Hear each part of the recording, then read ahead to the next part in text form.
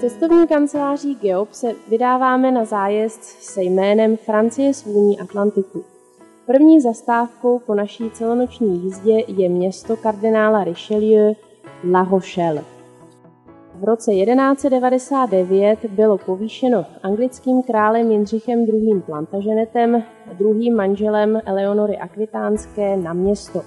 Byly vstyčeny hradby ve 13. století, které sice kardinál Richelieu během obléhání města v roce 1628 skoro celé zboural, ale jednu část v blízkosti pobřeží zachoval.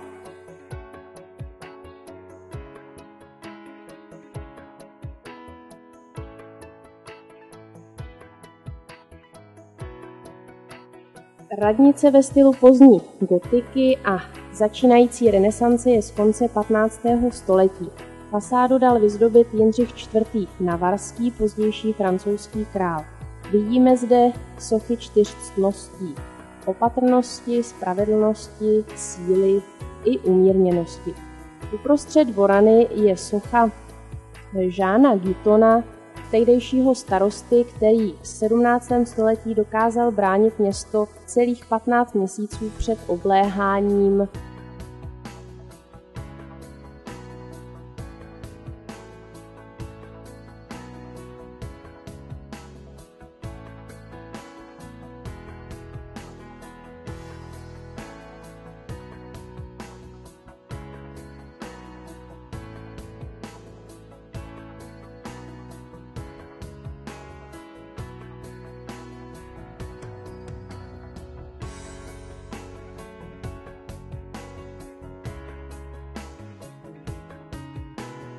Město La Rochelle vzkvétalo hlavně díky rozrůstajícímu se obchodování v přístavu.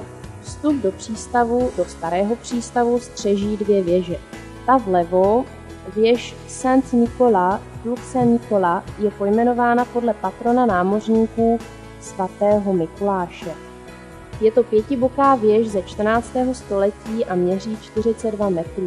Sloužila jako vězení. Druhou věží na okraji starého přístavu je Tour de la Chaîne, řetězová věž. Její název je odvozen od řetězu, který byl od středověku až do 18. století napínán mezi věže a tím zabraňoval v případě potřeby vězdu nepřátelských lodí do přístavu. Tato druhá věž sloužila jako prachovnice. Poslední věží přístavu je věž Lucernová Tour de la Lanterne, odkud je nádherný rozhled na město. Raritou města La Rochelle je mořské muzeum, neboli akvárium. Ve dvou patrech žije nepředstavitelné množství mořských ryb. Je pozoruhodné, jak precizně je expozice připravena a tím dává návštěvníkům možnost nahlédnout do podmořského života.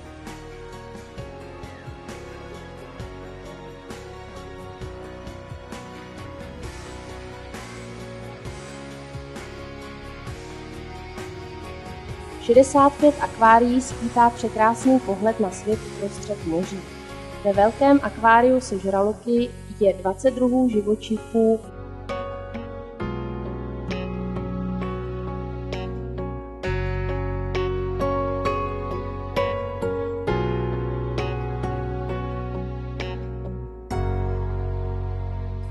Voda z přílivu konečně naplnila přístav a my jsme se mohli vydat na výšku lidí v pevnosti Boják.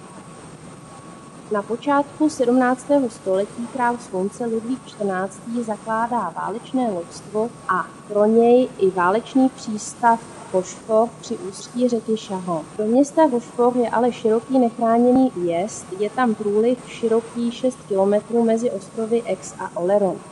Tehdejší děla měla dostřel 1,5 km a stále zůstává 3 km dlouhý pás nechráněný.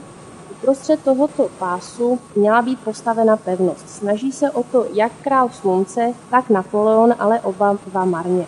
Až v 19. století v letech 1836 až 1866 je vystavěna ze žuly a vápence pevnost dlouhá 70 metrů, široká 31 metrů a 20 metrů vysoká. Tloušťka zdí je 2 metry 20 cm.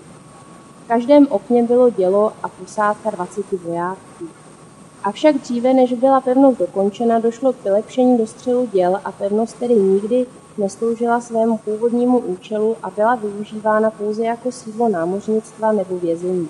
Pevnost chátrala, koupil ji za symbolickou cenu belgický zubař a od něj potom v roce 1989 společnost, která zde v letních měsících organizuje televizní hry a za výtěžek pevnost udržuje.